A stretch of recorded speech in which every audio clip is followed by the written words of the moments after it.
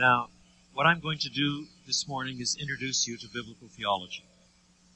And I'd better begin with some definition. For many Christians, theology has a bad word, is a bad word. It has bad overtones. It's academic, it's theoretical, how many angels can dance on the head of a pin, that sort of discussion. But theology is merely discourse about God. That's all it is. Discourse about God. There's obviously some bad discourse about God, incompetent, not based on what God has disclosed of himself, put together poorly. But just about everyone is theological. Certainly anyone who's a Christian is a theologian in some sense. If you talk about God, you're in, engaged in theology, whether you like it or not. The only question is whether it's good theology. But then after you've talked about theology as discourse about God, then there is a distinction to be made between informal theology, something that all Christians engage in, and formal theology. Theology is a discipline. And then that breaks down into a number of subcategories. And the categories that are used, the labels that are used, are somewhat different in different parts of the world. For example, in the United Kingdom and parts of the world influenced by the United Kingdom, theology is a big category that includes historical theology, systematic theology, exegetical theology, and a number of others. I'll come to a couple of them in due course. In this country, theology, if you just use the word by itself, and you're talking about the formal branch of study called theology, not just the informal way in which we all do theology. Theology tends to mean systematic theology. Now, let's begin with some definitions. Systematic theology, sometimes called in this country dogmatic theology, systematic theology for the Christian is bound up with asking and answering atemporal questions. That is, questions about God, what He has done, human beings, and salvation, everything that the Bible is interested in, that are structured atemporally. In other words, without reference to time. So, what is God like? Systematic theology will answer with a long description and definition. God is eternal, He is triune, He is omnipotent, um, He is personal, and so on, so on, so on, so on, so on. What is sin? What did the cross achieve? Who is Jesus Christ? What are human beings? What is our ultimate destiny? Uh, who is the Holy Spirit? And on and on and on and on. Now, that can be very popular level, it can be very sophisticated, but at the risk of oversimplification, systematic theology tends to answer questions about what the Bible says in an ordered, logical, atemporal, systematic way, and hence systematic theology. To call it dogmatic theology is merely a way of saying it's systematic theology that you are supposed to take on board as dogma, that which is to be believed because it is truly taught in Scripture and is confessed by the church. Isn't this an exciting place to speak? Thank you for catching that before there was a disaster. I hadn't even noticed. So that's systematic theology, and that's what most people in North America mean when they speak of theology. They mean systematic theology. And that can be pitched at popular levels so that um, if you have an introduction to what the gospel is about, it can be, it can be structured as a subset of your systematic theology. Do, do you see? What then about biblical theology? Biblical theology is another expression that has different overtones in different circles. For some people, biblical theology is merely another way of talking about systematic theology. It's systematic theology that is based on the Bible as opposed to based on uh, the Quran or whatever. But for most people today, biblical theology has a different set of overtones. two in particular. Biblical theology asks and answers questions that are tied more closely to time. It's not an atemporal discipline. That means that, in particular, it has two distinguishing features from systematic theology. Number one, it is interested in not only what the whole Bible says about God, structured atemporally and systemically, but what each individual book and corpus says about God and sin and the cross and all the rest. So, not now simply what does the Bible say about God, but what does the prophet Isaiah say about God? What are the theological themes in 1, 2, and 3 John? What are the emphases in the writings of the Apostle Paul? What does Romans teach us? So it's interested in the individual book and the individual corpus. Book, like Romans, corpus, like the body of Paul's writings. Book, like Matthew, corpus, the synoptic gospels, Matthew, Mark, and Luke. And so it is more immediately inductive in asking and answering what individual books or corpora teach. But then, secondly, because it's interested in God's disclosure over time, it's interested in asking and answering questions about how God has disclosed himself across the centuries. So, now we ask, how do certain themes develop in Scripture? Priesthood, sacrifice, temple, covenant. There are about 20 really big ones and 60, 70, 80 smaller ones that drop in and drop out. And when you do biblical theology, you're interested in tracing out how these themes run through the entire canon. Now, both disciplines have their usefulness.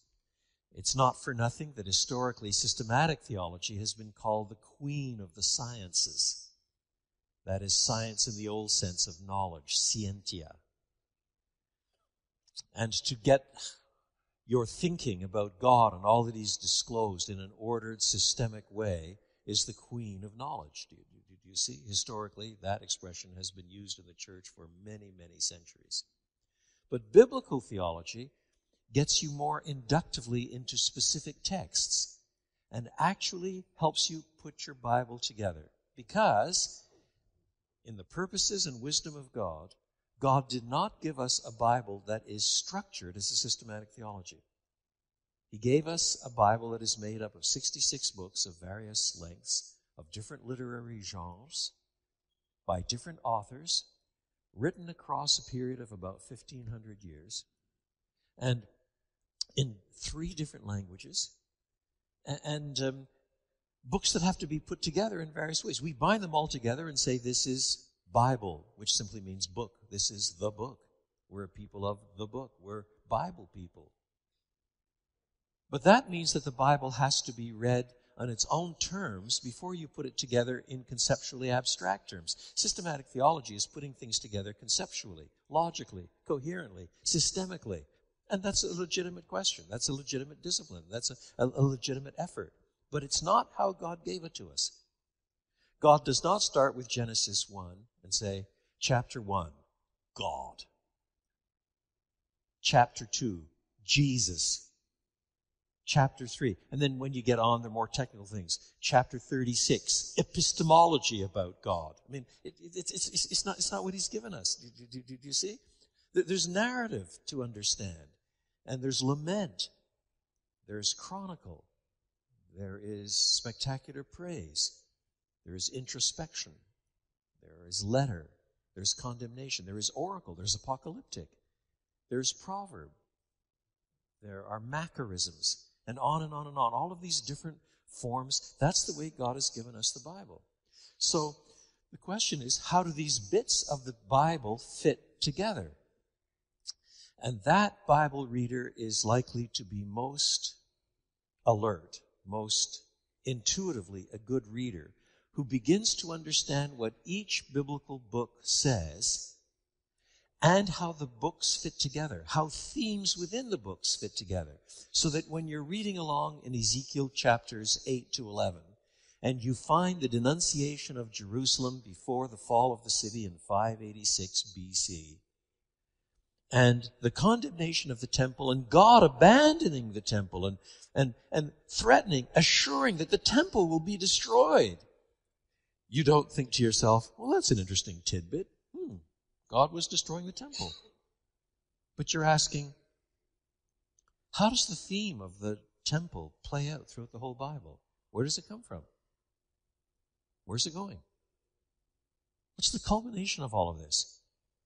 And if you begin to track out how those things work, then as you read your Bible and you butt up against any of these large biblical theological trajectories, then immediately your mind runs in both directions.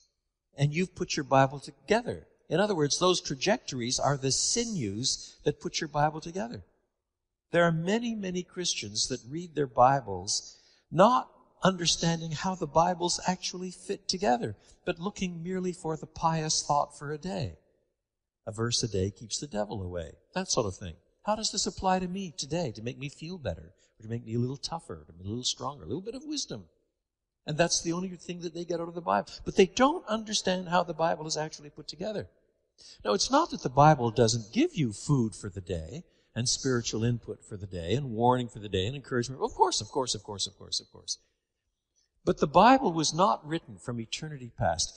When Moses started writing, or when Paul was writing, he was not thinking, you know, there's going to be some poor little undergraduate in Champaign Urbana in a couple of thousand years that will need a sort of pious thought for the day. I'll, I'll throw one in. That's not the, what the Bible is actually about.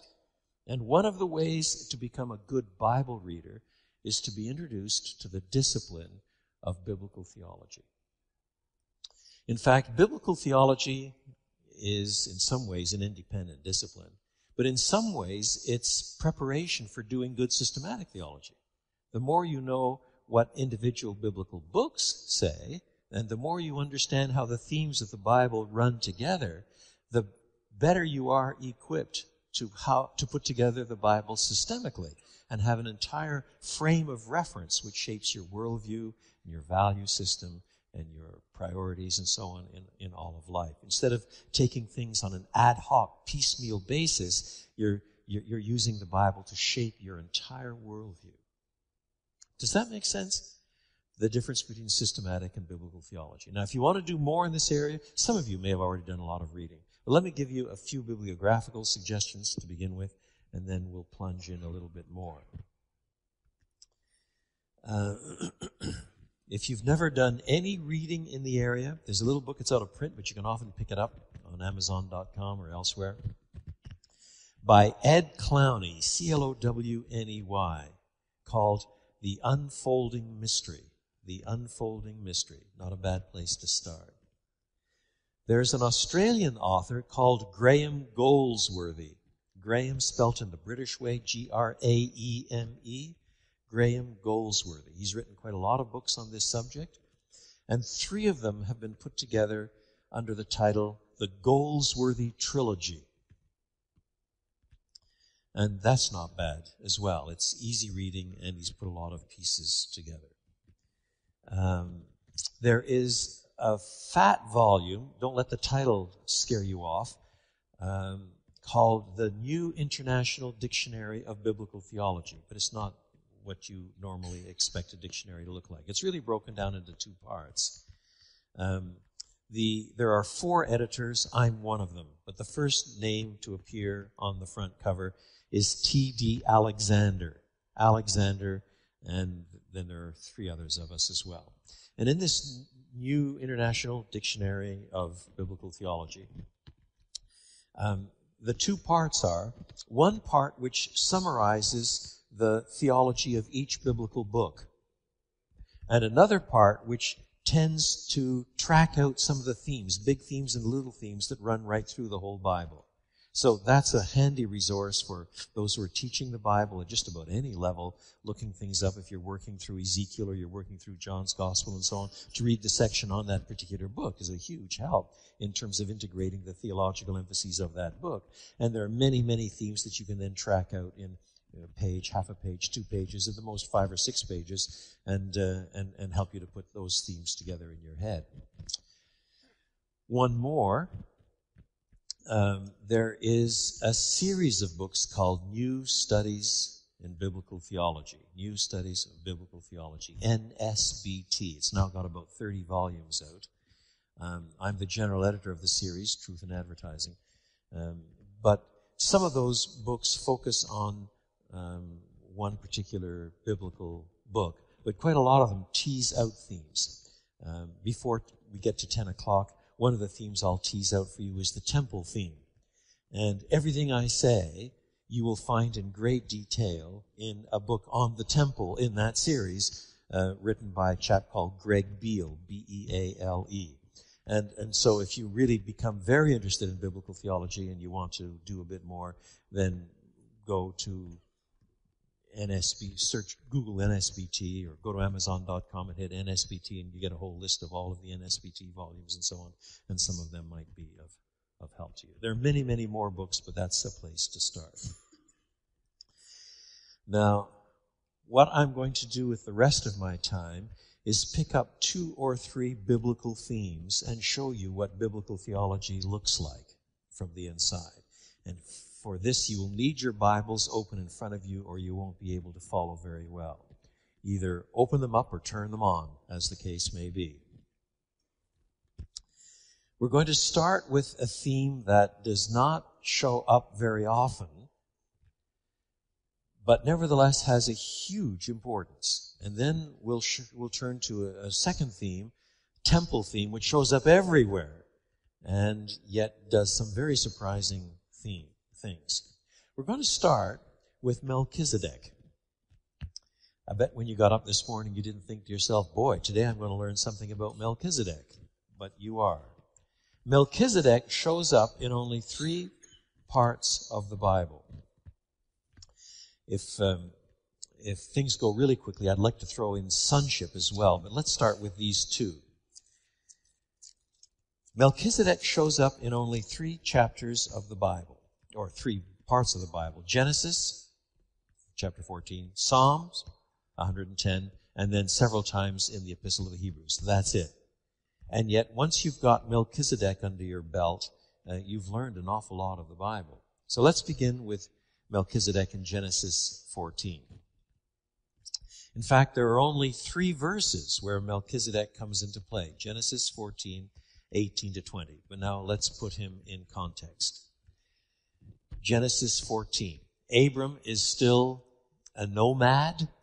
He's been given great promises from God in Genesis 12 and 15. 15 just around the corner. But in, in chapter 14, we're introduced to Kedorlaomer.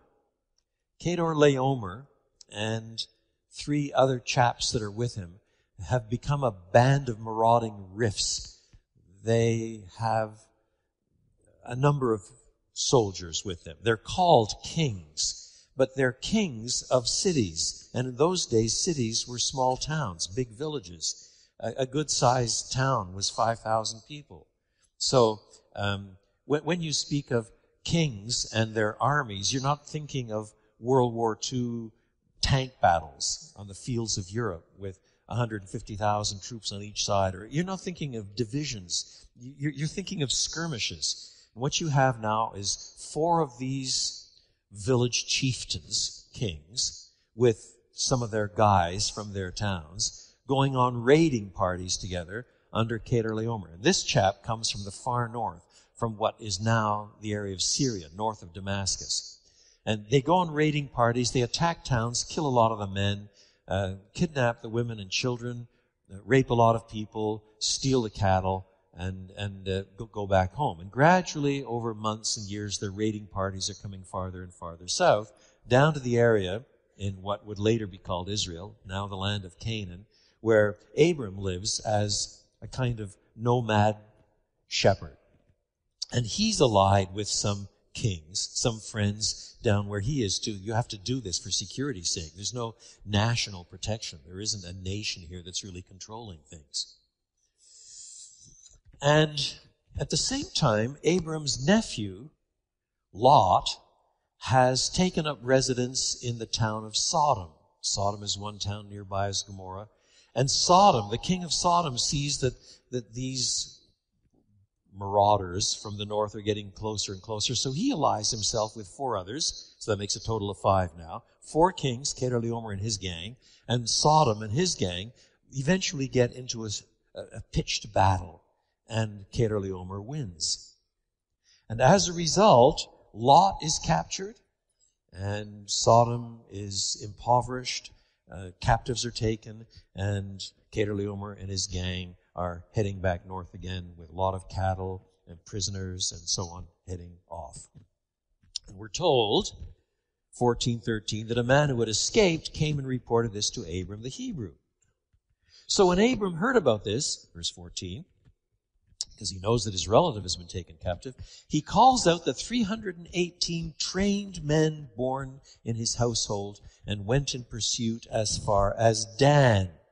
Now, Dan is much more, a much later name that is uh, used to explain what was going on at the time. And Dan's area is way, way to the north, heading up toward Damascus. To say that he had 318 trained men does not mean that they were trained with M16s and uh, RPGs and, and, and so on. It just means that they were fit and could handle themselves well with sticks and staves and maybe there was a, there were a few swords and there might even be, be some bows by this point in history but slings were more common than bows.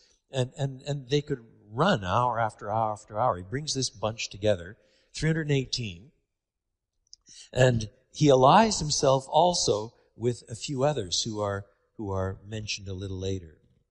Um, Aner, Eshcol, and Mamre, who are apparently mayors of their own small towns or large stakeholders with their own troops. So you might have a thousand men going after who knows how many up north. And, and because they're running to catch up with them and don't have a whole lot of animals with them, um, gradually they catch up and they catch up. And we're told that eventually they, they, they pursue them and catch up to them in Dan, far north.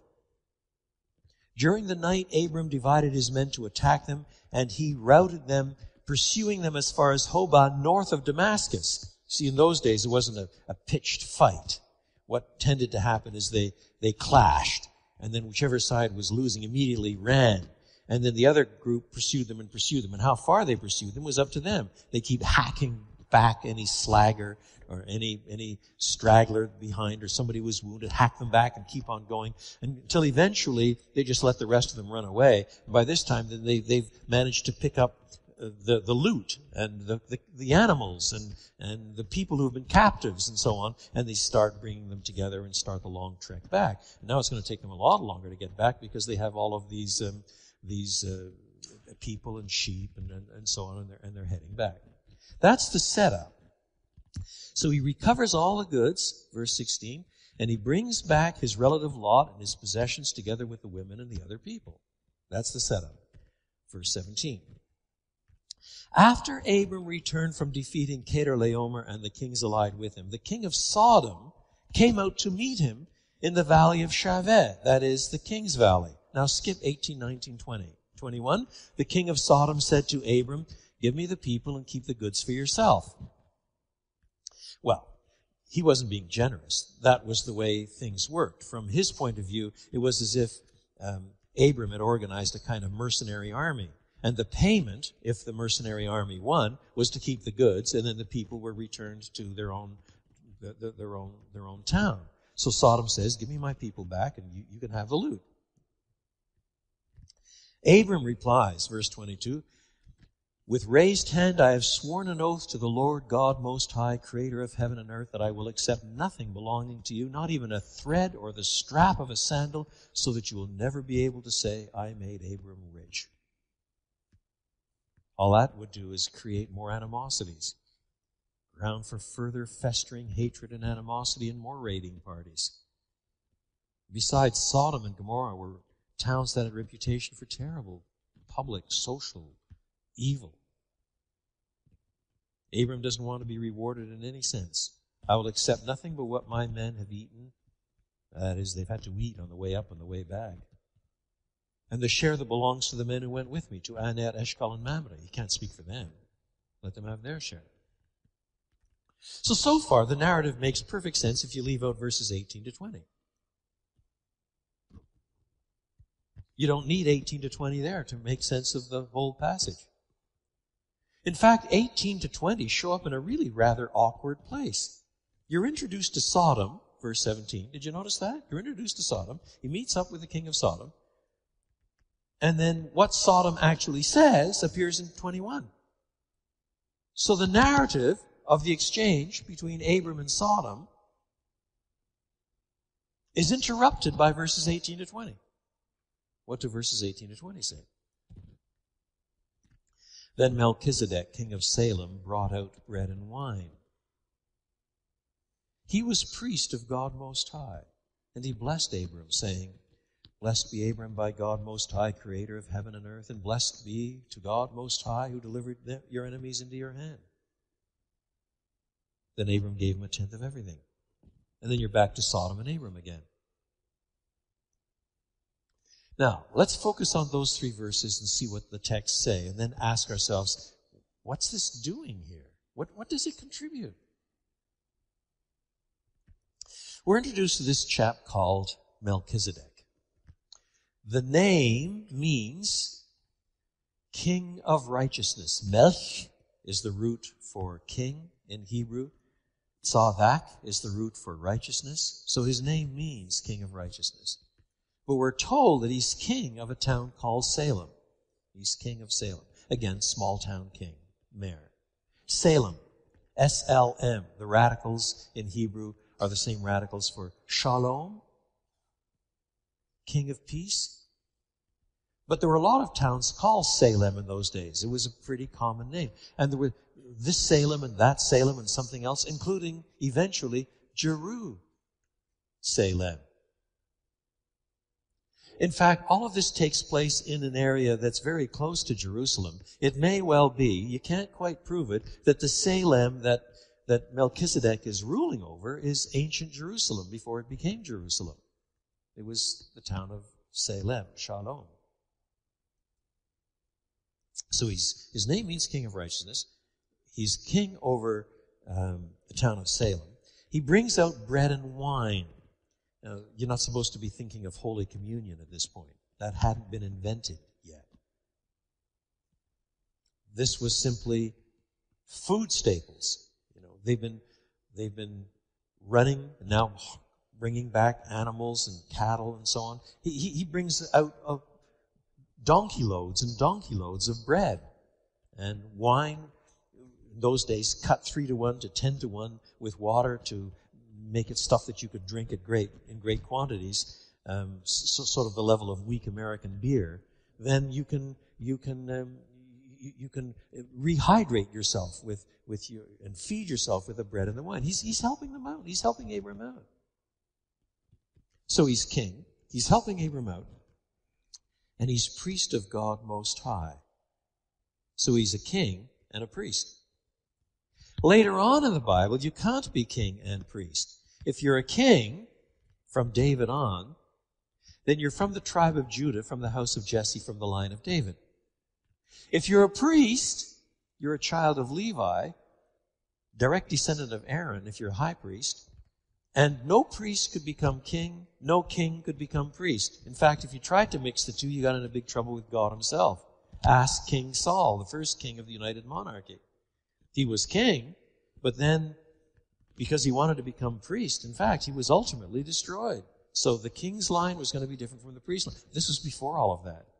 A long time before all of that. More than 500 years before all of that. And at this point, you have a man who's king and who's priest. He's priest of God Most High. Now, in these three verses, the covenant name of God, Yahweh, in our Bibles printed with a capital L-O-R-D, isn't used.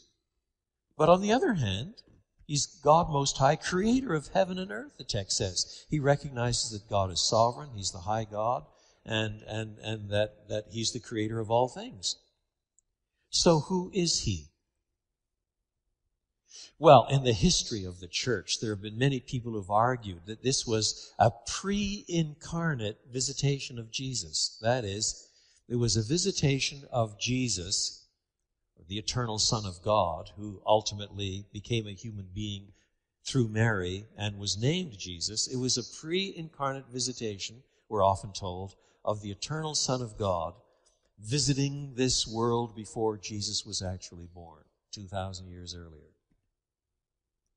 And although there's a long, pious history of that explanation, I really can't find anything in the text that justifies it. Moreover, there is something in a later text that really rules it out completely. Take my word for it, we'll come to the passage in a few moments when we turn to the New Testament. I, as far as I can see, this really can't be the eternal Son of God. This is just another dude. He's another ordinary man. You see, there's no reason for us to think that Abram was the only man in the entire world who was a monotheist, a believer in one God. There's no reason to think that. In fact, when you read the account, it's easy to imagine, it's easy to suppose that Melchizedek and Abram already knew each other. It doesn't sound as if they were complete strangers.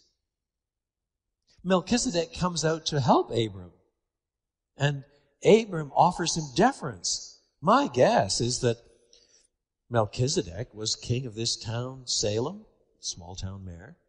And he and, Mel- and Abram found in themselves kindred spirits, both believing in one sovereign God, creator of heaven and earth, and, and, and formed a linkage of friendship and mutual respect. And, and, and he happened to be both king and priest in this area, and he helps Abram out as he returns, so on. That's what it sounds like to me. So, he blesses Abram, he praises God, and Abram gives him a tenth of everything as a mark of due deference. So, what does this add to the story? Well, because he is squeezed into the account with Sodom, because the account of the interchange between Abram and Sodom is broken up, then part of what Melchizedek does is serve as a kind of foil for Sodom. Abram won't have anything to do with Sodom. There's a wonderful relationship between Melchizedek and Abram. Do, you see? Sodom is master of a nasty little town that's full of public evil. Melchizedek is priest of God Most High, sovereign of a town called Peace, with his own name meaning King of Righteousness. And, and, and, and so in some ways, he serves just as a foil of, of, of Sodom. Do, do, do you see? On the other hand, if you're, if you're a reader of the Old Testament before the New Testament it comes, before Psalms is there, all you've got are the earliest books of the Old Testament, and you're reading this stuff through, you think, good grief. What does Melchizedek contribute to things? And the answer is at this stage, not much. He's a nice foil, but that's about it. And that's all that is said about Melchizedek in Genesis. The only other passage in the Old Testament where Melchizedek is mentioned is Psalm 110. Psalm 110 is probably the most quoted chapter, the most frequently quoted chapter in the New Testament.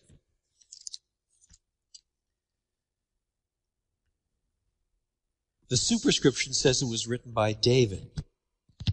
Jesus affirms the same thing at the end of Matthew 22. David says, the Lord, Yahweh, notice the capital letters, the, the covenant God, Yahweh, says to my Lord, sit at my right hand. Who is my Lord?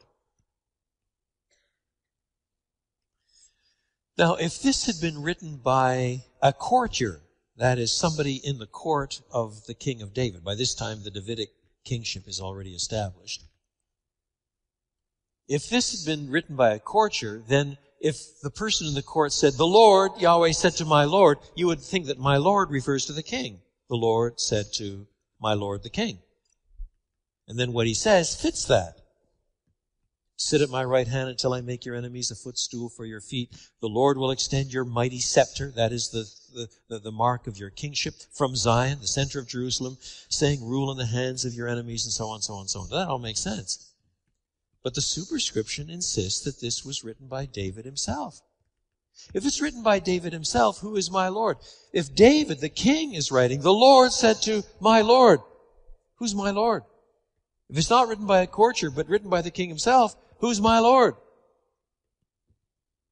And the best answer to that is it's the ultimate Davidic king.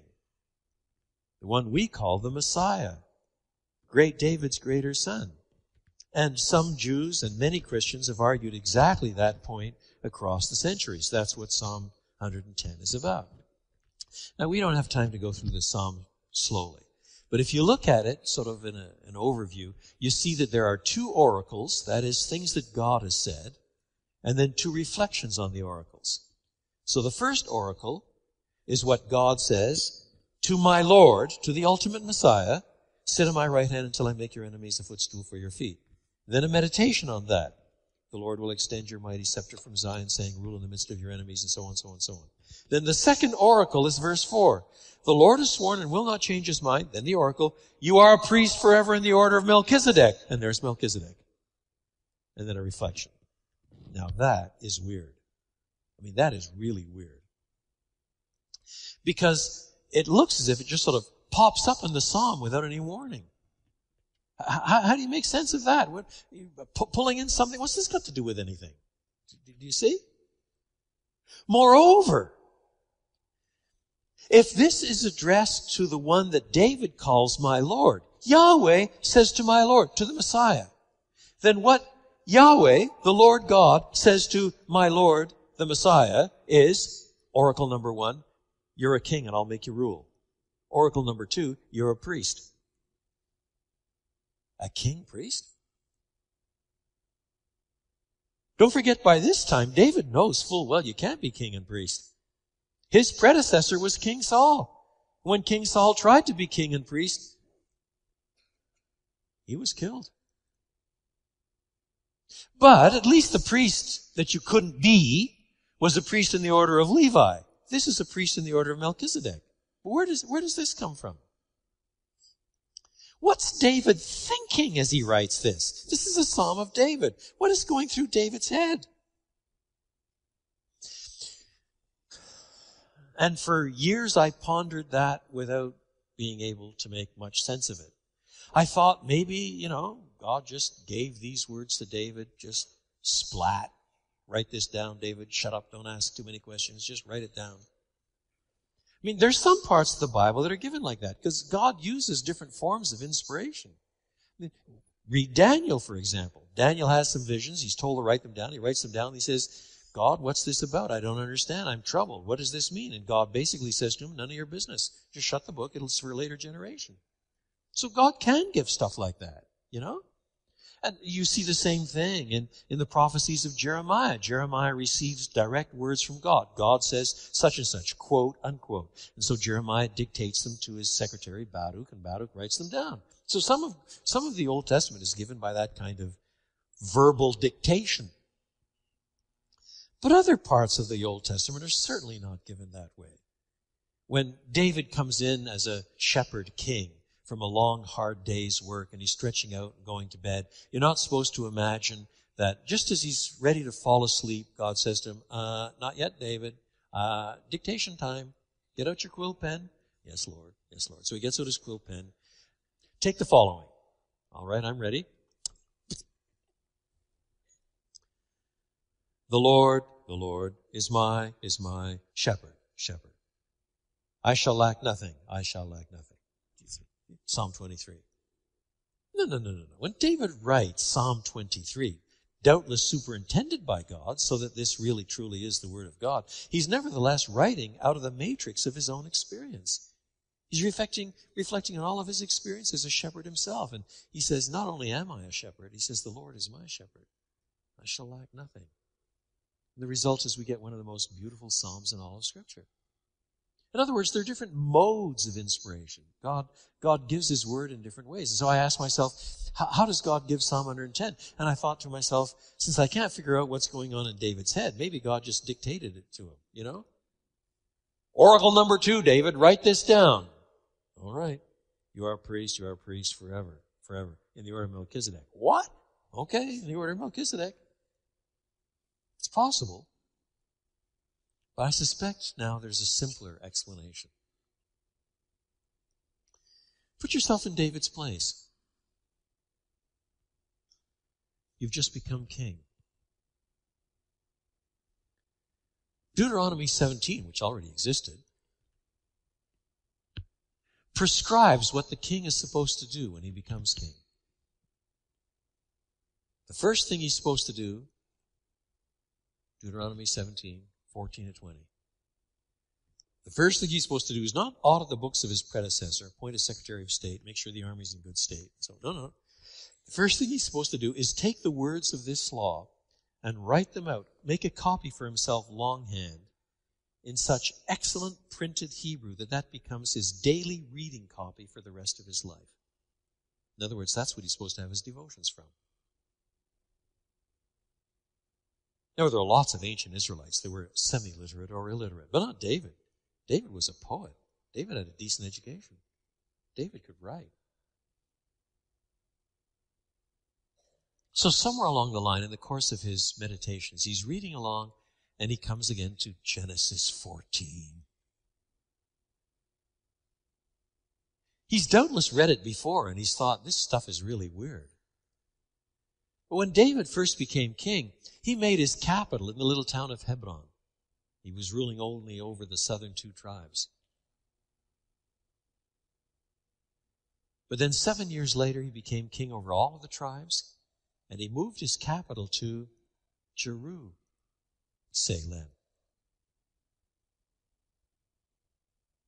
Now, at that point, if he read Genesis 14, it couldn't help but speak to him a little differently. You know, I'm not the first God fearing, monotheistic king of Salem. There's this character ahead of me called Melchizedek. And he was king and priest. I'm not allowed to be king and priest. I'm king, but I'm not priest.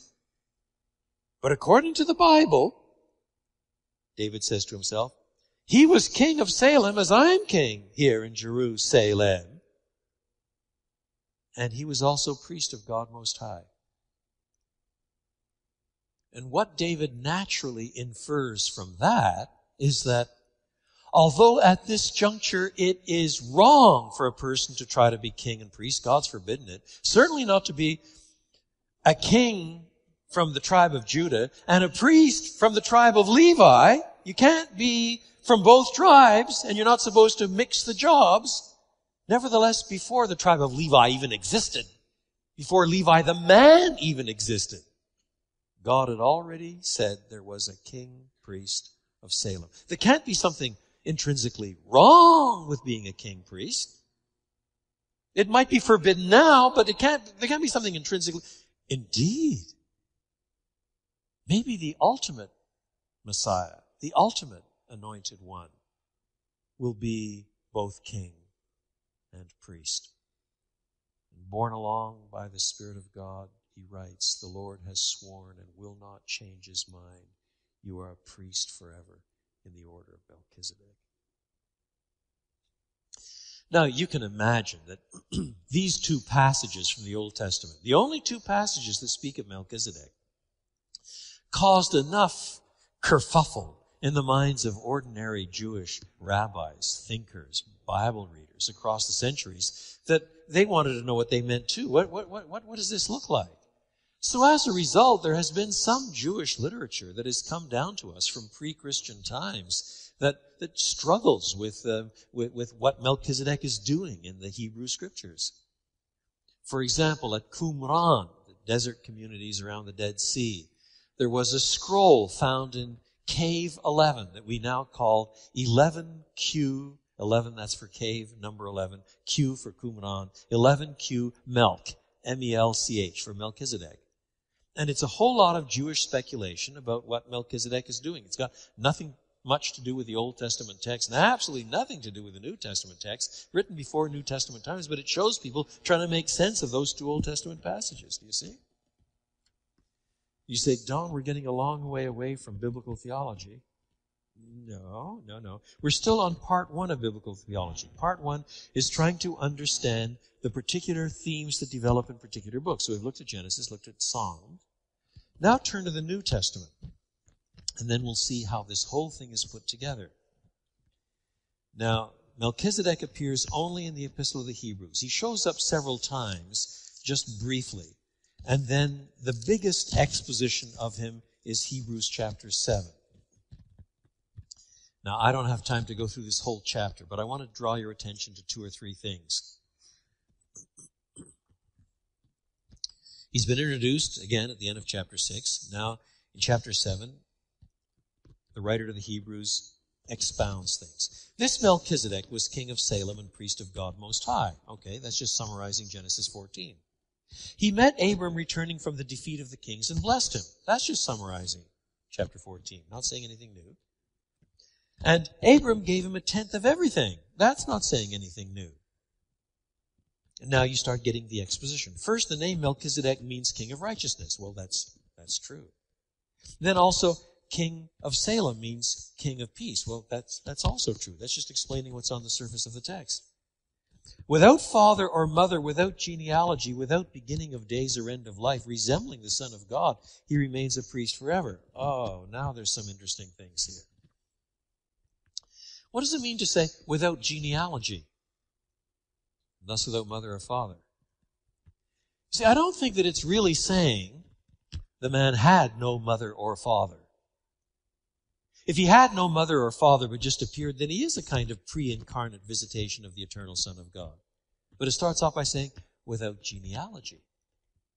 Now that is striking when you stop to think about it. It's something I left out when we were in Genesis 14. We now need to, to consider again.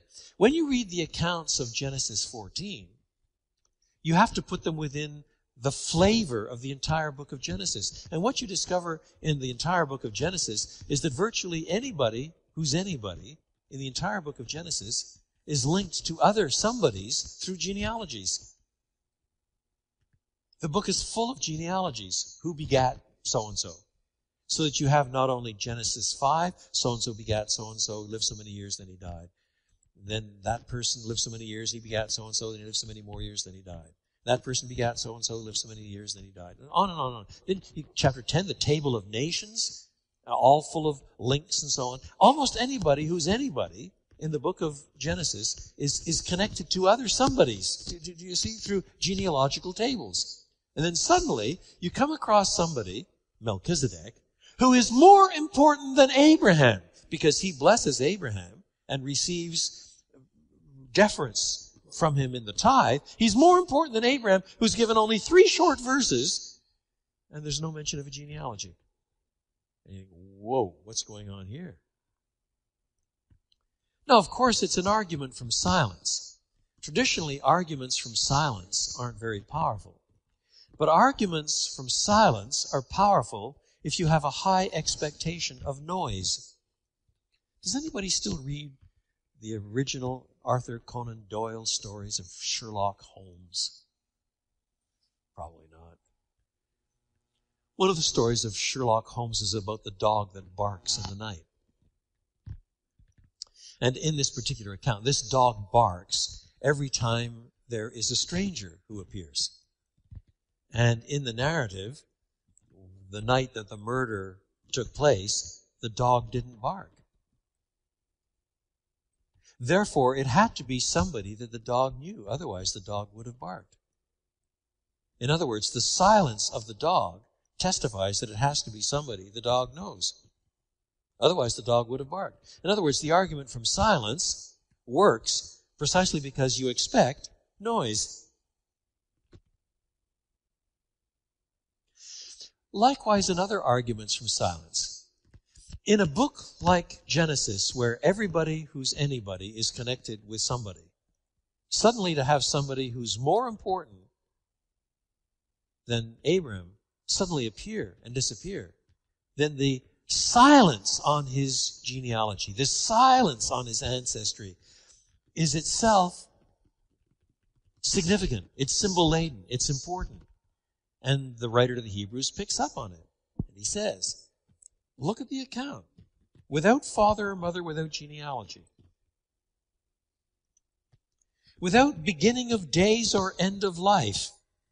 Well, that's very different, for example, from Genesis 5, where so and so is born, he lives so many years, he begets so and so, he lives so many more years, than he dies. That person is born, obviously, and, and lives so many years, begets so and so, lives so many more years, then he dies. Do you see? Without beginning of days mentioned, without end of days mentioned, without his birth mentioned, without genealogy mentioned, without mummy or daddy mentioned, and without his death mentioned, he just appears and then he disappears from the narrative. Thus, he is like the Son of God. Now, I said that I would give you reason for thinking that the Bible does not picture Melchizedek as in truth the Son of God, a pre incarnate appearance of the Son of God. And here's the proof. Do, do, do, you see? The author, if he really believed that Melchizedek was the eternal Son of God in a kind of pre incarnate visitation, he could have said, without father or mother, without genealogy, without beginning of days or end of life, he is in fact the Son of God who appeared before time. That would have settled the issue. That's not what the text says. It says he resembles the Son of God. He is like the Son of God. He is like him insofar as the narrative itself mentions no mummy, no daddy, no origins. Just as the eternal Son of God, his origins are in eternity past. Do, do, do you see? So, in that sense, he resembles the Son of God and he remains a priest forever. So far, the text makes sense. Just think how great he was. Even the patriarch Abram gave him a tenth of the plunder. Now you're talking about how important this man is. The law requires the descendants of Levi, one of Abram's great, great, uh, great grandchildren, who became priest to collect a tenth from the people, that is, from their fellow Israelites. But this man does not trace his descent from Levi. Levi hadn't been born yet. And in fact, he collects a tenth from Abram and blesses him. So he's more important than Levi. He's more important than Abram because, of course, this is a culture where the older you are, the farther back you go, the more important you are. Listen, even though a lot of you are second generation Asian Americans, you have enough Asian background in you to know about respect for ancestors and so on. I was in China not long ago. And I was introduced a few years back. I was introduced as, as someone who had just had his 60th birthday. I thought to myself, no one in America would introduce me that way. In America, they'd always be trying to say, guess that I was maybe not more than 50 or whatever, anything to. I mean, how do you talk to young people if you're over 60? Good grief. But you know what they were saying in China when they introduced me as someone who was just turned 60? They were saying, hey, the guy might finally be worth listening to. At least he's 60. Did you see? And my attitude is, boy, I can hardly wait to go back to China when I'm 80. I mean, this, this, this, this, is fun, you, you, you know? John Piper and I make jokes with one another about we're living in odd times when a lot of 30 year olds want to listen to a couple of 60 year olds. I mean, it's really odd in North American culture. It's not odd in Asian culture. So, likewise, here, the argument is that Abraham is more honorable than Levi because Levi is the great grandson. And Abram himself pays honor, deference to Melchizedek. So in principle, therefore, Levi pays deference in Abram to Melchizedek. Melchizedek is more honorable than Abram, from whom all the Jews come, from whom all of the Davids come, from whom Levi comes. So you see, there's a certain reverence, a certain deference that pre, that's preserved for the, for the old geezer at the top of the peak. That's Melchizedek. And then the real argument begins. All of that is set up all the way down to verse 10. now, verse 11. Now you're going to see where the biblical theology kicks in. This argument is extraordinary, and it's powerful once you see it, but it's so condensed it takes a minute or two to unpack it.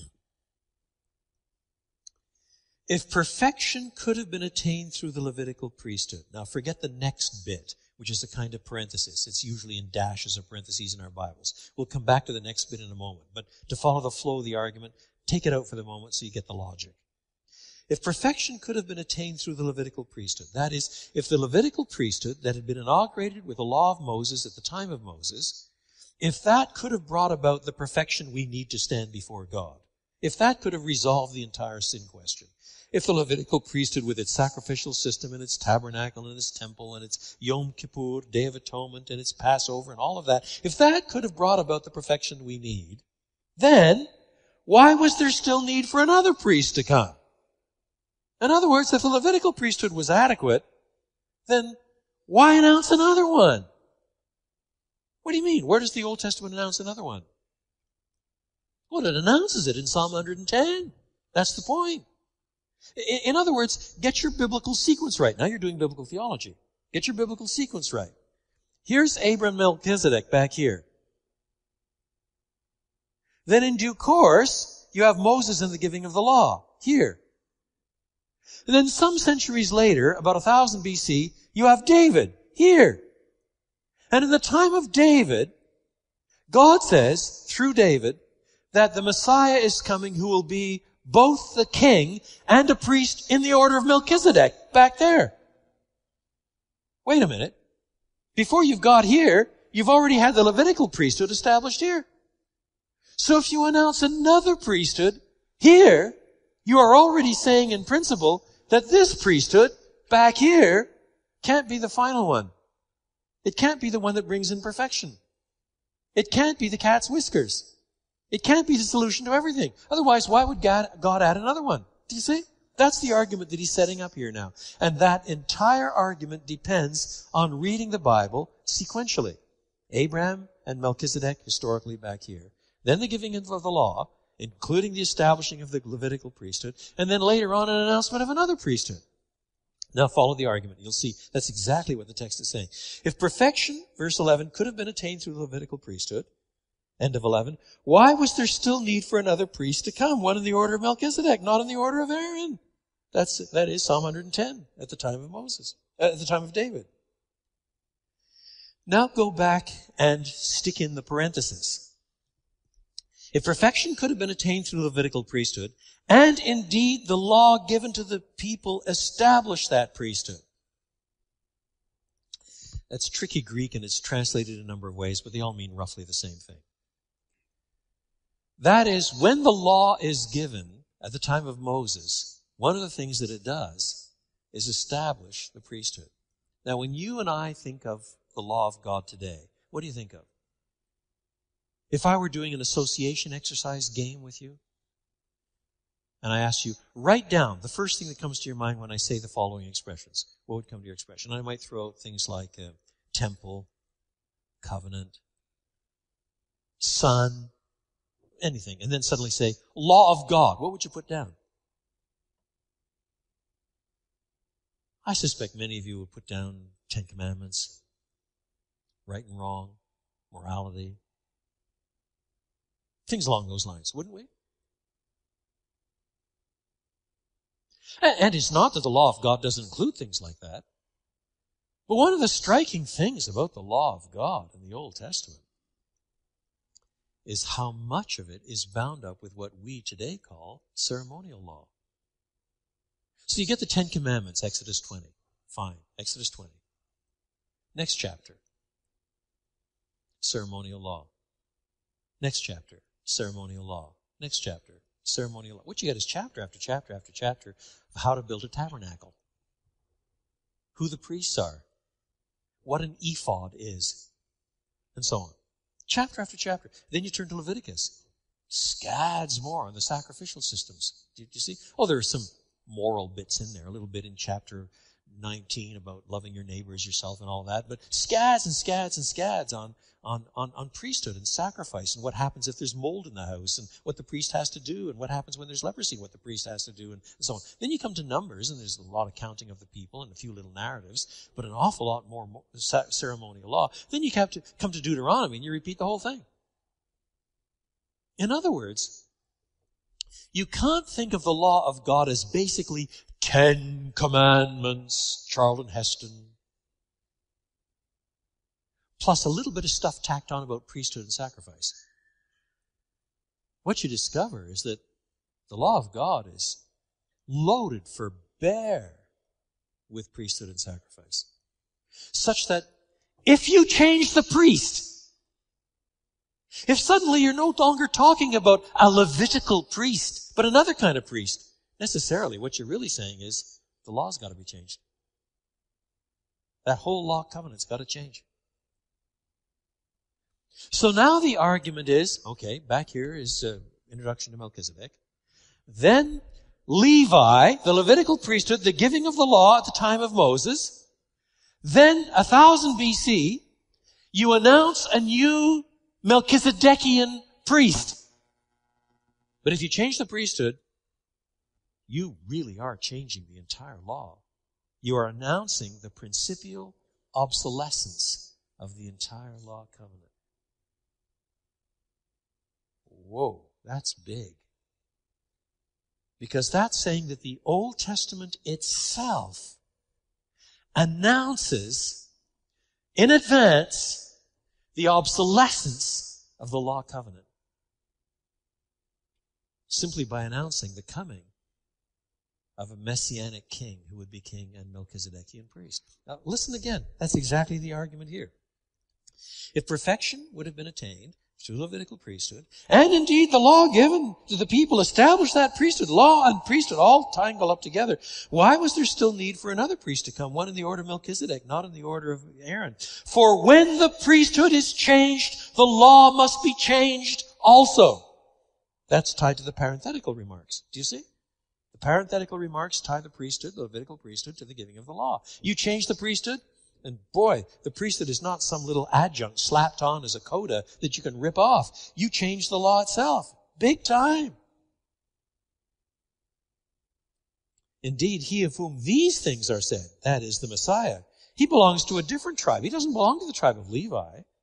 And no one from that tribe, the tribe of Judah from which Jesus sprang, ever served at the altar. For it is clear that our Lord descended from Judah. And in regard to that tribe, Moses said nothing about priests. So if he really is a priest, then boy, you really are establishing the obsolescence of the Levitical priesthood and therefore of the law.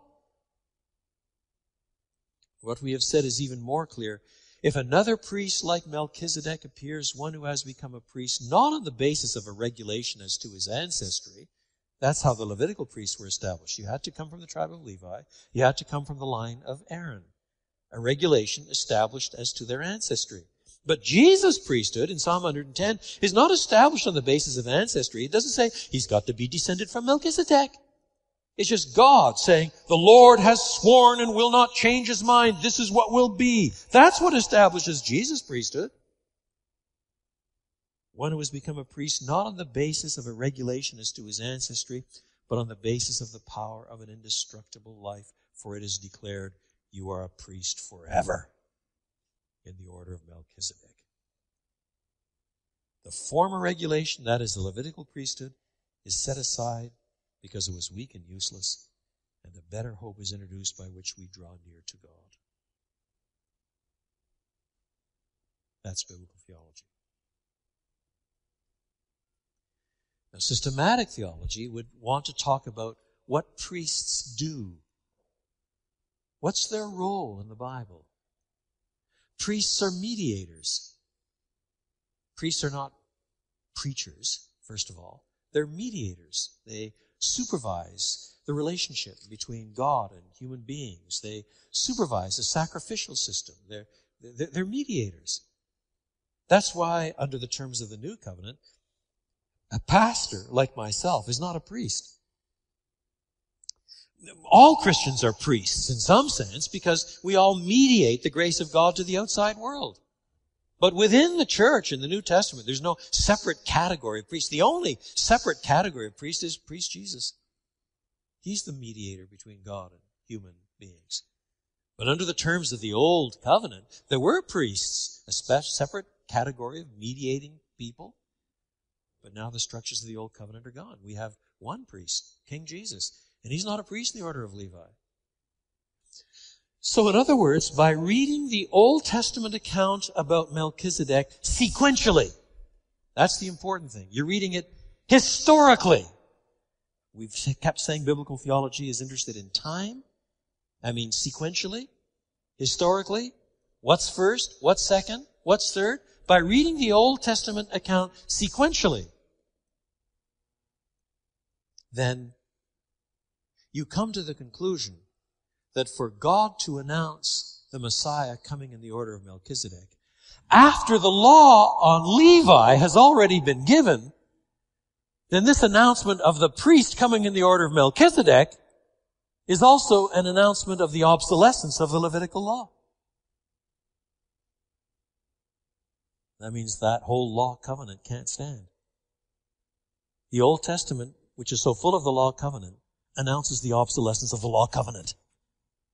You don't have to wait till Jesus to get there. A thousand years before Jesus, that's already being announced. That's how you read your Bible.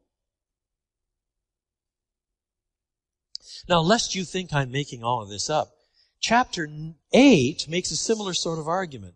There, it doesn't focus on the priesthood. It focuses on a quotation from Jeremiah 31, who's 6th century. There, in Jeremiah 31, we're told, according to Hebrews chapter 8, that Jeremiah promises the coming of a new covenant. Jeremiah 31, quoted here in Hebrews 8. Look at the conclusion the author draws in chapter 8, verse 13. By calling this covenant new, he has made the first one obsolete. As soon as God says, okay, this is my covenant with you, now I'm going to make a new covenant with you. That means the old covenant is in some sense obsolete. And what is obsolete and outdated will soon disappear. In other words, by tracking out how these things work sequentially in Scripture, you begin to put your Bible together. Do you see that? And you discover that you don't have to wait till you get to the New Testament and the arrival of Jesus before you have the right to say, the law is not the final answer. The law covenant and the Levitical priesthood can't finally transform. The animal sacrifices can't finally forgive sin. We've got to have something better than that or we're all damned. So instead of elevating the law and saying, just become more and more obedient to the law and you'll be saved, you begin to see that the Old Testament itself is already announcing a better way, a better king, a better priest, a king priest the origins of which symbolism go all the way back to Genesis 14. In the mind of God, even though the writer of Genesis 14 didn't know where all of this was going, and the first readers certainly didn't have a clue where it was going, in the mind of God, God knew where it was going, and is dropping down pillars into the soil that will make sense of the entire Bible storyline across time, across time, across time so that in the fullness of time, Jesus appears as the king priest in the order of Melchizedek who establishes the obsolescence of what came in between. What came in between was important. It pointed forward. It taught us many things, but it was not the final thing. Now, the way you discover all of those things is by the discipline of biblical theology. That is, reading the Bible sequentially. Does that make sense? Now, I promised a question and answer period, and I think it would be worthwhile stopping for a moment now and taking some questions on this one before we do one more quick run through, and then then we'll we'll do a run through on another theme and, and, and show you how it works out in a couple of other in a couple of other ways. All right? Question. You're gonna have to speak good and loud.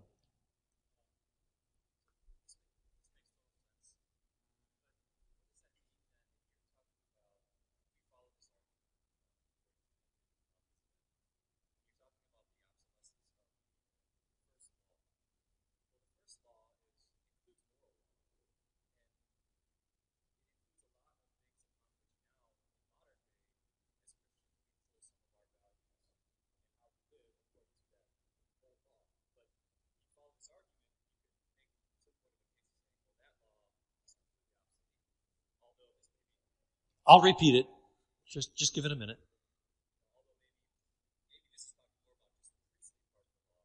Hmm.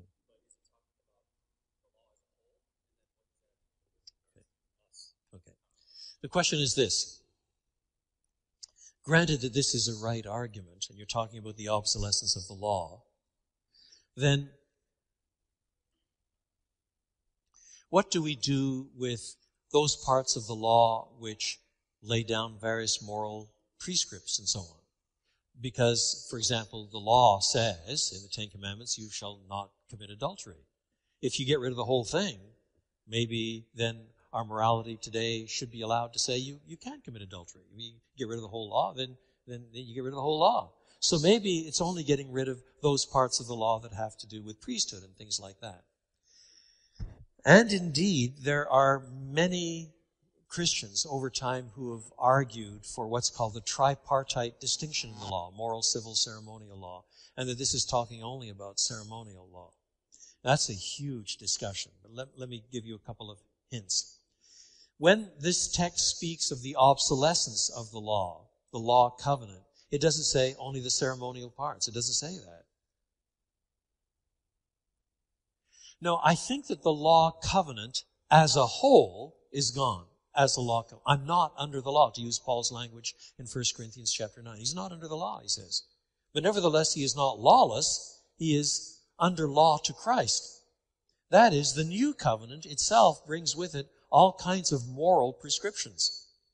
I would want to argue, in fact, I have argued many times in print here and there, that the old covenant law points forward in a variety of ways to the new covenant. But it's a variety of ways the result is that Paul can say, writing to the Romans, one man regards one day above another, let each be fully persuaded in his own mind. He does not say, one man regards adultery as okay, another man thinks it's an abomination, let each be fully persuaded in his own mind. Clearly, there's some lines of continuity. And those parts of moral prescription that change least across time, if you want to define them like that as moral law, I'm happy with the definition. But, but nevertheless, it's the law covenant as a whole, the entire structure of the law covenant that is gone. And a new covenant is put in its place. But that still leaves lots of place to ask questions about, so what then are all the connections between the old covenant and the new? How do they work? And I would argue that they work in terms of fulfillment. The law covenant points forward in all kinds of ways. We're familiar with, with many of those ways. So, there's the Passover structure in the Old Covenant. The Jews are supposed to celebrate the Passover year after year, year after year after year. Now Paul comes along and writes to the Corinthians and he says, Christ our Passover has been sacrificed for us. In other words, Christ is the ultimate Passover sacrifice. When that first Passover sacrifice was, was, was offered up and blood was sprinkled on the two doorposts and over the, on the lintel over the door and so on, the angel of destruction passed over the house and the firstborn was spared. Now Christ has offered his blood for us, and death and wrath pass over us because Christ has borne that wrath for us. So, how does that relate to this? This one points forward to this. And I would argue similarly, you shall not commit adultery. Points forward to the ultimate purity that Jesus speaks of when he says, you're even supposed to be free from lust. This says you're not supposed to commit murder, but those who hate their brother or sister have already committed murder in their hearts. In, in other words, it points forward to something, and, and the way it points forward varies a bit from law to law and from law to law. Uh, now, there's a, a new Festschrift, uh, a, a, book of essays honoring a scholar, um, uh, in honor of Greg Beale, that's uh, coming out next month. And in it, I have a long essay on that subject if you want to pursue it a little farther. It's a, it's a big topic. It's a, you put your finger right on something very important about how you put your whole Bible together. Yes.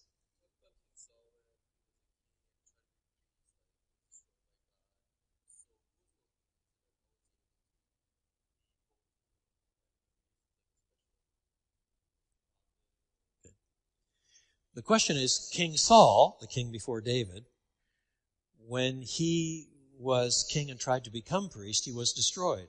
So how then did Melchizedek get away with it? That's not quite how you worded it, but that's what, really what you were saying.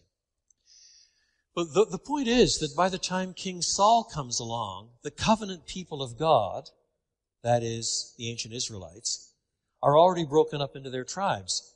And as they're broken up into their tribes, only the people from the tribe of Levi can serve at the tabernacle, later the temple. And only from the house of Aaron can become high priest. That's already prescribed by law. And Saul is told explicitly that he's not to meddle with that. He's from the tribe of Benjamin. He's not from the tribe of, of, of, Levi. So it would be breaking the law that God has given to the Israelites to try to take on both roles. And thus it would be defying God himself.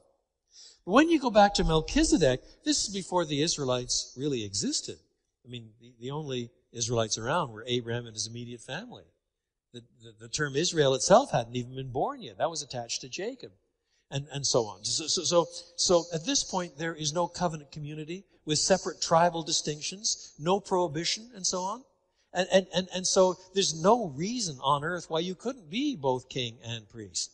But it's that very fact that I think grabbed David's eye when he's reading his Bible and having his devotions. That is, he sees that he's king in Salem and can't be priest. But already in the Bible, there was a king of another Salem where he was both king and priest. And he can't help but wonder, why couldn't that be again? It can't be an absolute prohibition. It's an absolute prohibition in David's time because you're coming from separate tribes. But why can't you be king and priest? So long as you're not being priest from the tribe of Levi. Supposing you're priest, priest in a fashion like Melchizedek. Then suddenly you're looking for a redeemer who is not only the king, but the mediator. And that changes your whole vision of who, who the Messiah is, who your, your ultimate Savior is. He's both king and priest. This was sufficiently ambiguous in people's minds in the first century before Hebrews was written that in Qumran, that I mentioned earlier, some of the people at Qumran really looked forward to two messiahs, one who would be a king, one who would be a priest. It's the Christians who put together Genesis 14 and Psalm 110 and say, uh uh uh uh. There can be one person being both. Because this priesthood is not tied to a tribal structure. But that means a new covenant. That means a king priest. And we've got a king priest, namely King Jesus. Did, did you see? That's the way the Bible is actually put together on the point. Yes.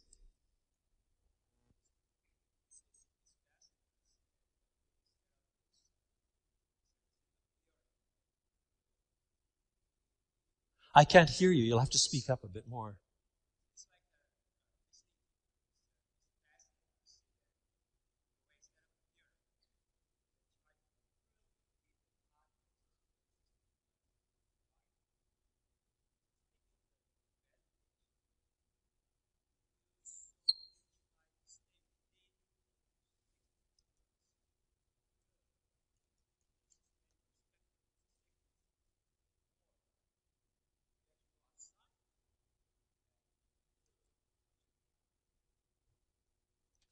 The question is, it sounds as if I've sort of set up a theorem and then used the Bible to provide the arguments to justify the theorem.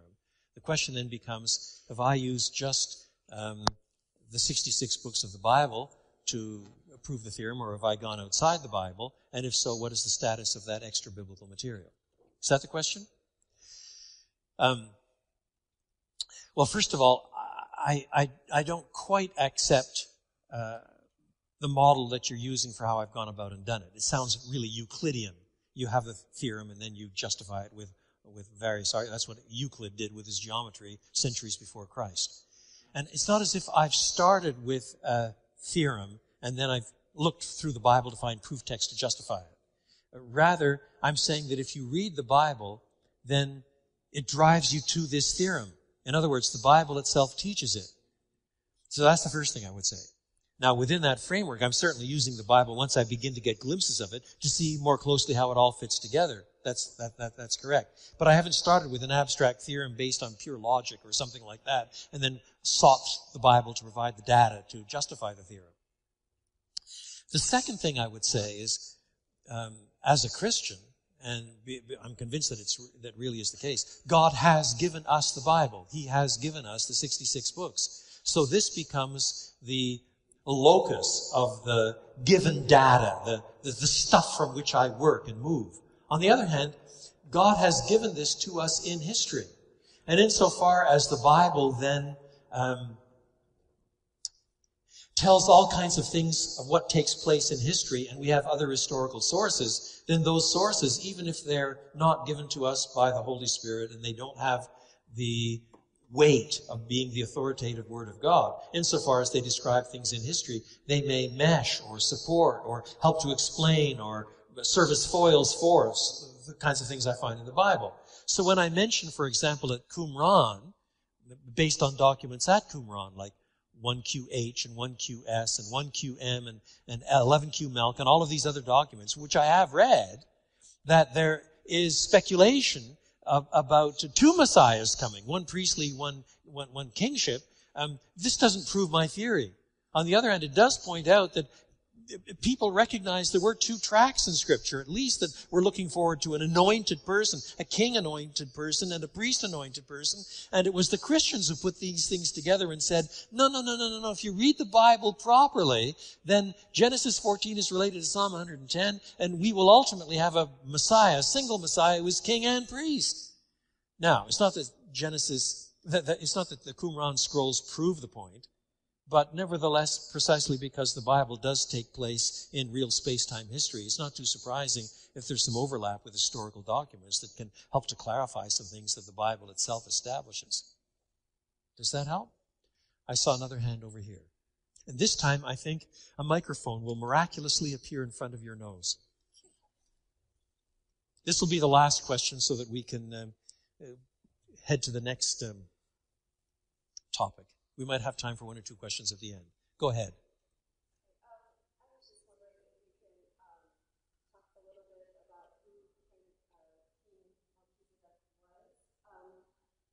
think a lot of us, I know especially myself, go, "Oh, he was like figure and that's why he's so mysterious and he he shows up randomly in different places and abraham honors him and gives basically tithes and offerings um, but this whole idea that he does have a mother and father and he is flesh, uh, you know, real life flesh and bone sort of person. Um, and you talk about he, how he's basically older than Abraham and such. Is he basically then sort of like an old righteous king priest whom God has somewhat chosen then to represent? Okay. Sounds to me as if you got it right. Uh, okay. I, in, in, in, other words, in, in, other words, once you no longer start looking to prove that this is a pre-incarnate visitation of the eternal Son of God, which I think is ruled out by Hebrews 7, because the text says not that he is the Son of God, but that he resembles the Son of God. Then the only thing that makes sense of it is that he was an old, righteous monotheist. He believed in he didn't know the covenant God. He didn't know the name Lord, Yahweh. But, but nevertheless, he was. Why should we think that, that Abram was the only monotheist in all, all of God's green earth?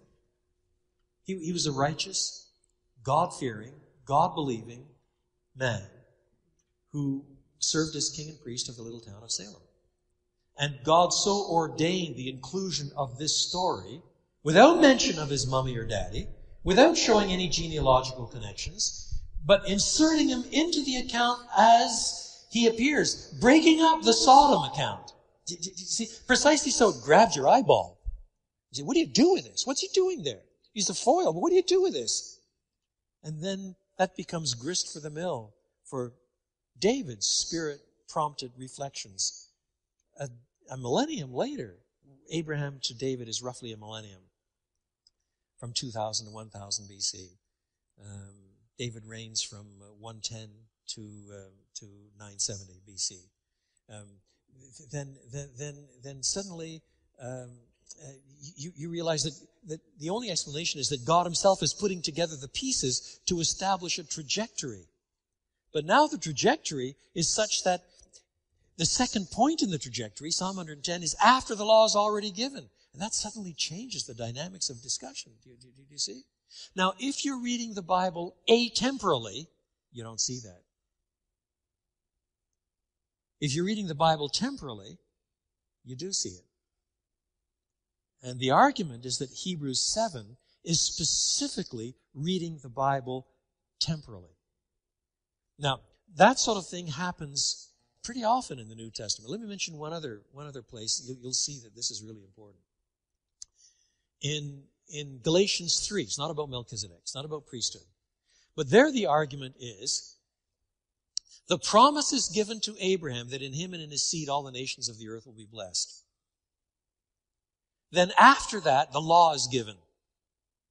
But the argument is the law cannot annul the promise, the promise given to Abraham. It can't do that.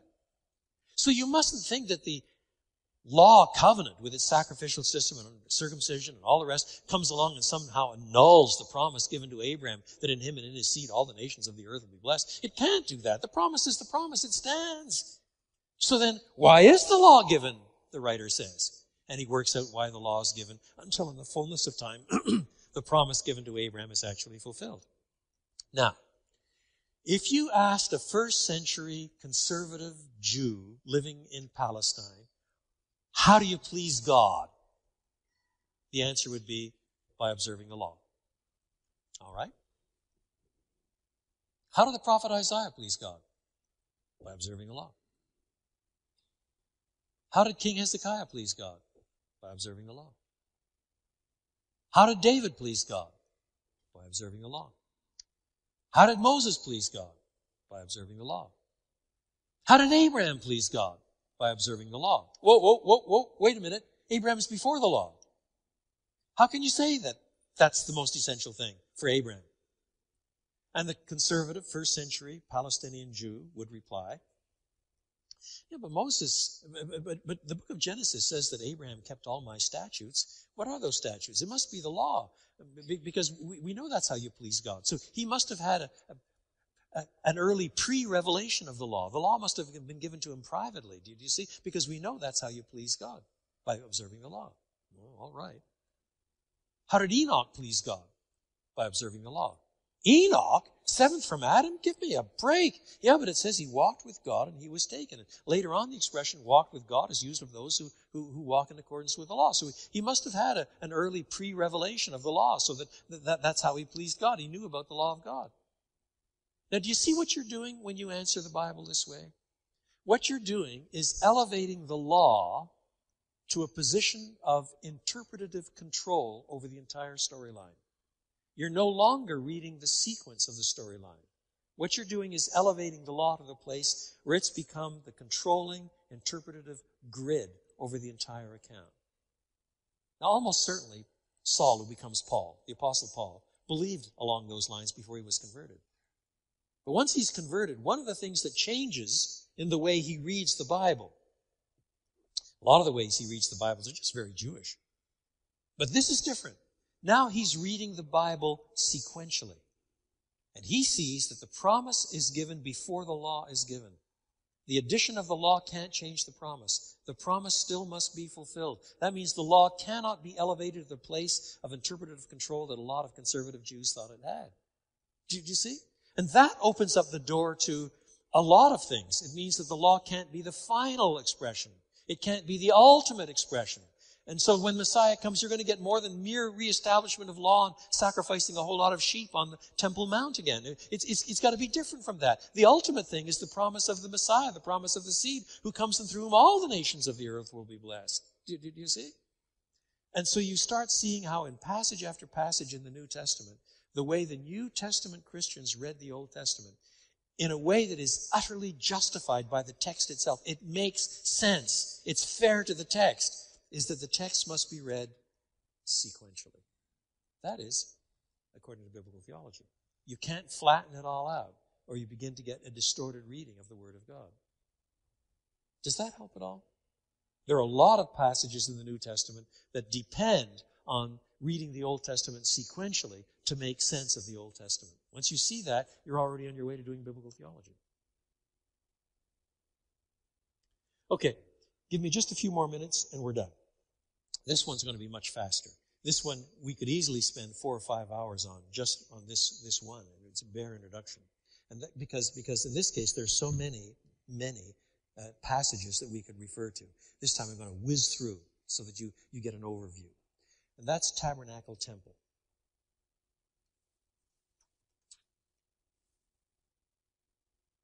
Now, if by temple you mean a great big stone and masonry construction. You're just thinking of building. That's all it is. But you're not thinking of it in any sense in terms of what it represents, what it accomplishes or functions as. Then um, your, your vision of the argument will be too small. The point is the temple was the place where people met God, where the holy God chose to meet sinners. Now, if you look for temple themes bound up with where does the holy God meet sinners?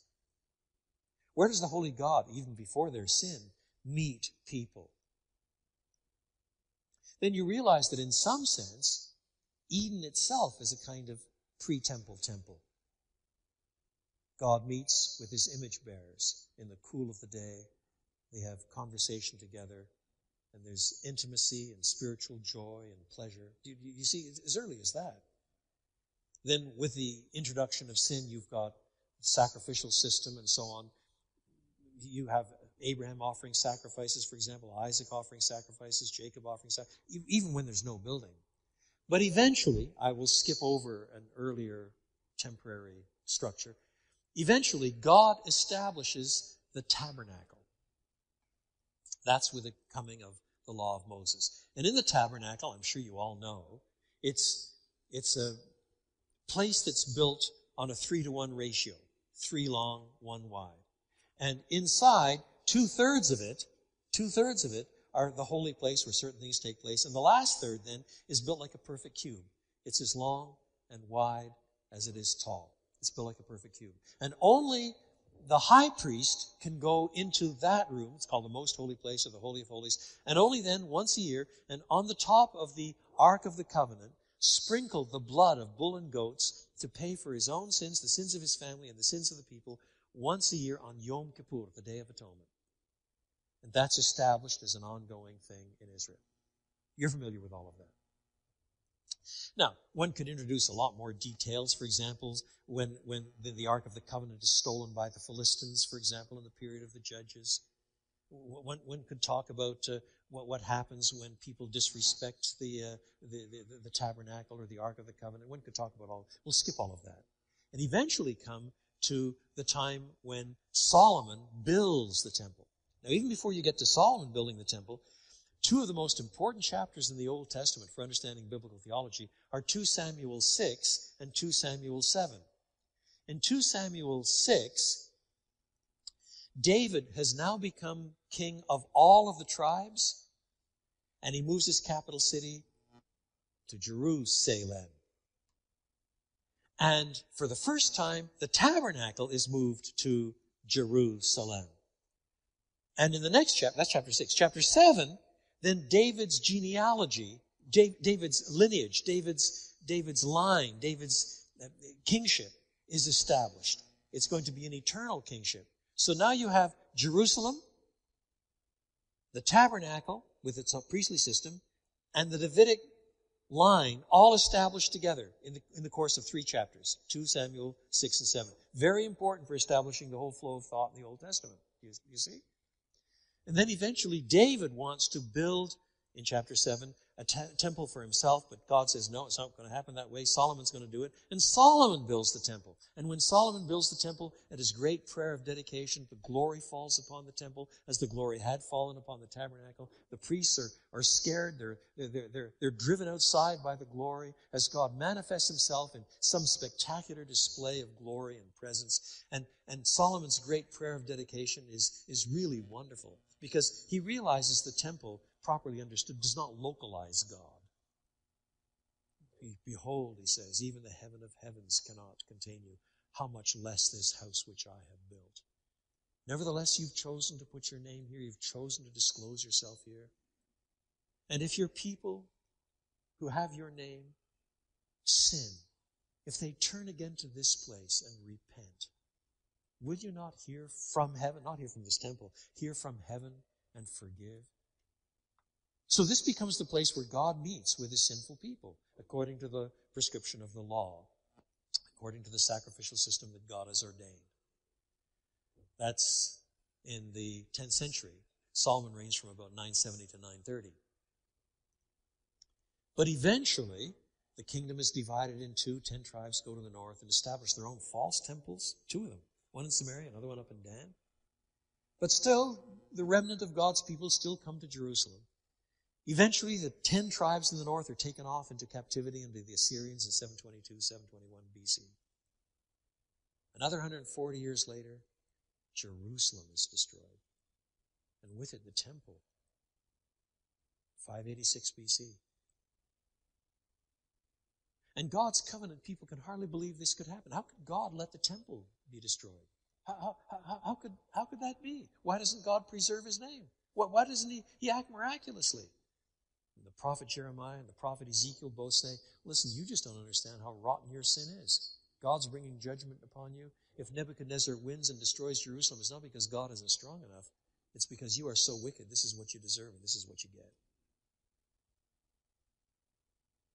And the southern tribes go off into captivity. 586 BC, the temple is down. The interesting thing in all of that is some of Ezekiel's preaching to the exiles along the banks of the Kebar River. In Ezekiel chapter 11, for example, he preaches to the elders and he says, Don't you understand? God says he will make his sanctuary with you. Do you hear that?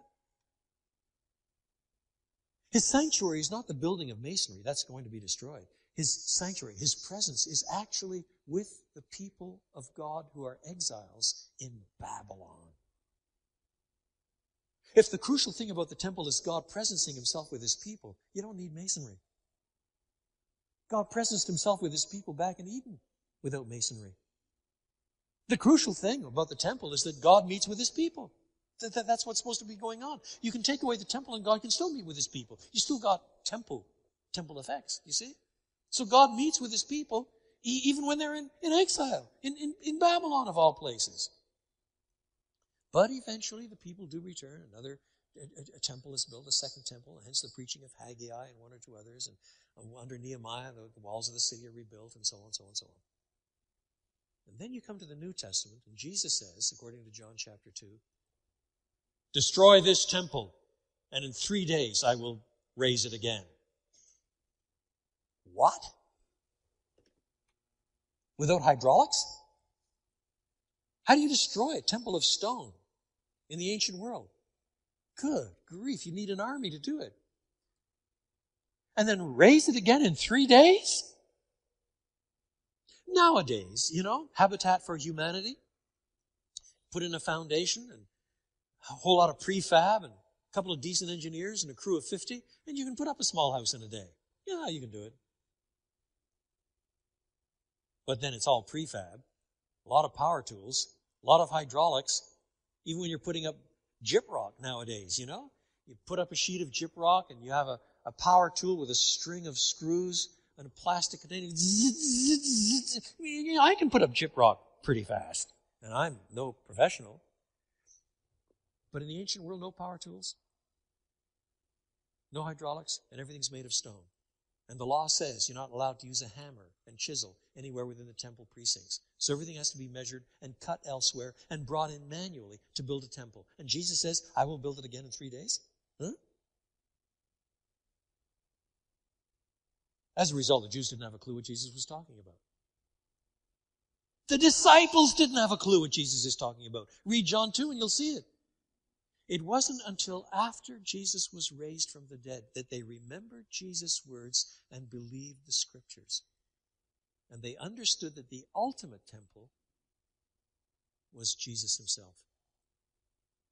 That is the ultimate meeting place between God and sinners is Jesus himself. Looked at one way, Jesus is the priest. Looked at another way, Jesus is the Passover lamb. Looked at another way, Jesus is the ultimate temple. He's the ultimate meeting place between God and human beings. Do, did you see? Read John 2, 19 to 22. And they believed and they knew that he was talking about the temple that his own destroyed body constituted as it rose from the dead. He is not only our priest and our sacrifice, he's our temple. So the trajectory from the Old Testament temple come, brings you finally to Jesus. And then derivatively, the church is sometimes seen as the temple. That is, it's the meeting place between God and a lost, sinful world. Now, it's that's why I'm nervous. You see, when I see church buildings that are called Temple Baptist Church or something, as if the building is, is, is, is, is, is a temple. No, no, no, no, no, no, no. This, this, this is, this is a great building, but it's, it's not a temple. It's not, it's not in itself the meeting place between God and human beings. No, the real meeting place between God and human beings is not a hunk of masonry. It's either Jesus himself in the New Testament or it's the church of the living God. That's where sinners meet with God. And in one remarkable passage, only once, 1 Corinthians chapter 6, the Christian's body is a kind of temple. That is, it's a place where God meets others through the individual Christian. And therefore, we're not supposed to dishonor the temple of God. And then you press on and press on and press on in the Bible until you come to the New Jerusalem, the last vision of the Bible, Revelation 21 and 22. Oh, it's full of symbolism. The ultimate state is pictured as a new heaven and the new earth, and then it's pictured as a city. But what a strange city it is. It's built like a perfect cube. Now, listen, guys. If you're not married yet, on your wedding day, do not turn to your wife and say, You remind me of a city. It will not go down very well. But nevertheless, the symbolism of the scripture is that the city is the bride of the lamb. Talk about mixed metaphors. Lambs have brides? I mean, you normally think of lambs just sort of going out in the field and doing it. I mean, they don't have marriages, do you know? But nevertheless, one of the things that apocalyptic literature does is mix the metaphor. And you're supposed to understand the contribution of each of those bits and pieces. The city, the city, Jerusalem, the ultimate abode of God, you know, is, is, is, is the bride. Oh, okay, okay, that's picking up another theme that runs right through scripture of the Lamb, the Lamb who is Jesus. So the sharpest intimacy between the church, the people of God, and Christ himself on the last day, but this Christ himself on the last day is also the sacrificial lamb. All of these metaphors are coming together to give us image after image after image to think better about who Jesus is and what he's done. And then in the midst of it all, the city is called a cube. Now, I fly into Chicago many, many times a year. Chicago's a great city. If the air is clear and you're sitting on the proper side of the airplane, you can look out the window and see all the skyscrapers and so on. But however many skyscrapers there are, it doesn't look like a cube. Why is the New Jerusalem described as a cube? There's only one cube in the Old Testament. Just one. I've already mentioned it. It's the most holy place.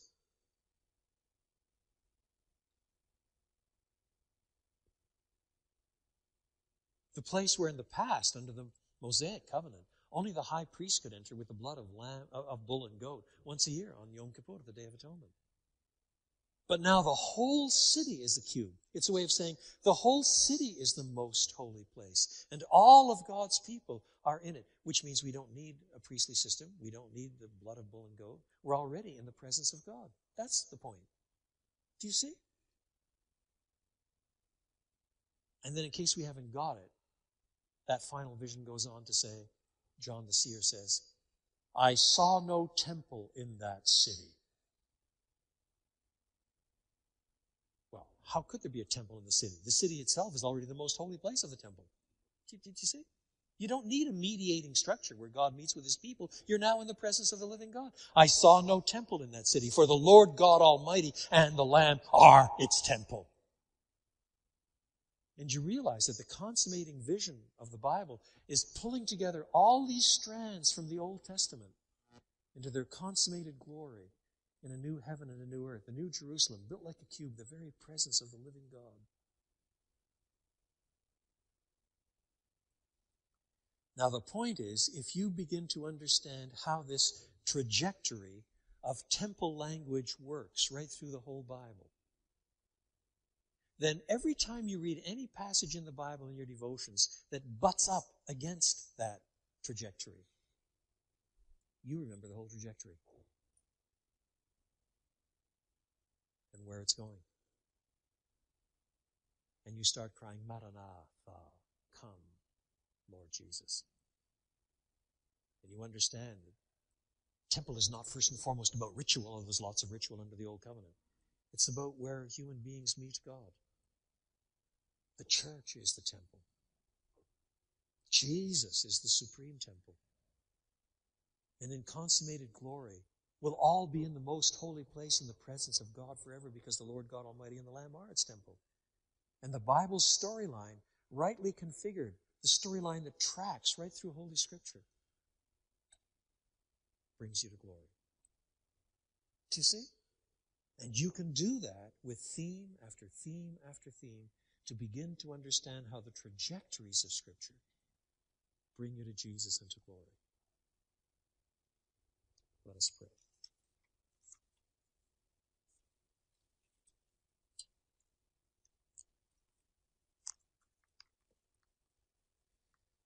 Open our eyes, Lord God, that we may read your most holy word as it was meant to be read, with its different forms and literatures, different writers across time, establishing these patterns, these trajectories, until finally we come again and again and again to the feet of Jesus, in whose name we pray.